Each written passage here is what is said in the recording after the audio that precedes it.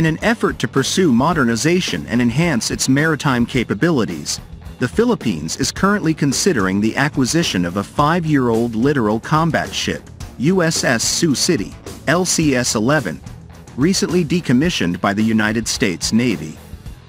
The decision to investigate this potential acquisition comes as the Philippines faces increasing pressure from China's military aggression in its surrounding region. With a limited budget, the Philippines is seeking smart solutions to bolster its maritime capabilities, and USS Sioux City presents an intriguing opportunity. USS Sioux City, officially decommissioned after less than five years in active service, could prove to be a valuable asset for the Philippines. The Freedom variant LCS, built by Fincantieri Marinette Marine in Marinette, Wisconsin, was commissioned on November 17, 2018, at the United States Naval Academy in Annapolis.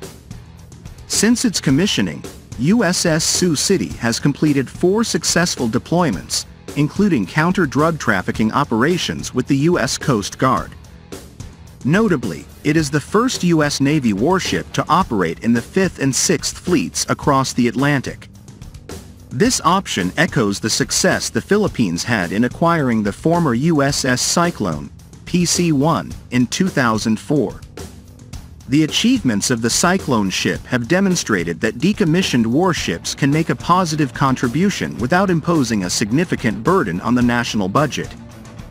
Meanwhile, retired Admiral James Stavridis emphasizes the importance of finding ways to transfer nearly new warships like USS Sioux City to partner navies in need. This move could also strengthen the maritime relations between the Philippines and the United States, which are increasingly forging a closer partnership in response to security challenges in the region. The proximity between the two countries is further evident in plans for joint patrols in the South China Sea as a response to China's escalating activities. The acquisition of USS Sioux City could be a strategic step in supporting the modernization of the Philippine Navy while carefully considering cost efficiency. The Philippine government and its Navy are carefully weighing this option to ensure that any steps taken will provide maximum benefits for the national security of the Philippines in the context of regional security uncertainties.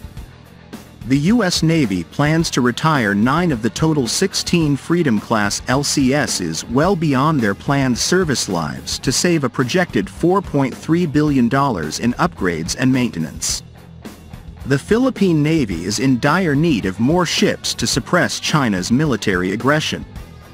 The Philippine Coast Guard plays a very important role in ensuring its presence in the West Philippine Sea, as it is a legitimate way to enforce its absolute right to patrol the area around the Kalayaan Island Group following the 2016 Court of Arbitration Award that gave victory to the Philippines. The Philippines for invalidating China's claims in the area the United States and the Philippines are seeking closer naval ties amid tensions in the region. Amid China's increasing activity in the South China Sea, the Philippine Navy is looking for more ships. Joint patrols in the South China Sea are being planned for later this year. The transfer is intended to support the modernization plan of the armed forces of the Philippines, particularly the Philippine Navy's maritime capabilities. Given the coastal nature of the Philippine archipelago, the vessels will likely perform similar duties to those of the United States Coast Guard, such as maritime interdiction and search and rescue. Is the Philippine Navy interested in acquiring the recently decommissioned littoral combat ship, LCS, USS Sioux City, LCS-11? Maybe this will be a new thing for the Philippine Navy because the littoral combat ship unit is still not owned. I personally think this is a very good step to take in order to acquire a littoral combat ship.